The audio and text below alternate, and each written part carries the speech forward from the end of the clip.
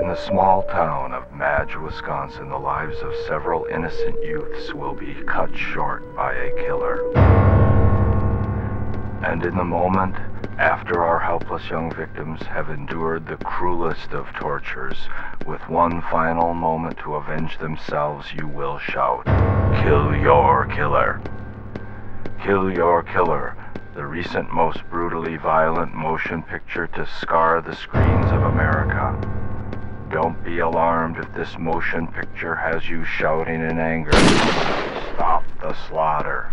Rockford Road Pictures International presents a three part saga of horror and sadism that follows three different young persons and documents their fight for survival. This depraved and shocking film may even have you asking yourself, how would you kill your killer? With a knife, a hammer, or anything that could be used as a dangerous weapon. Hello. As producer of this film, it is with much responsibility and respect for humanity that I urge anyone and everyone not to see the motion picture Kill Your Killer, for the images of brutal and shocking horror have been known to cause adverse effects in most people. Remember, you have been warned. Kill your killer.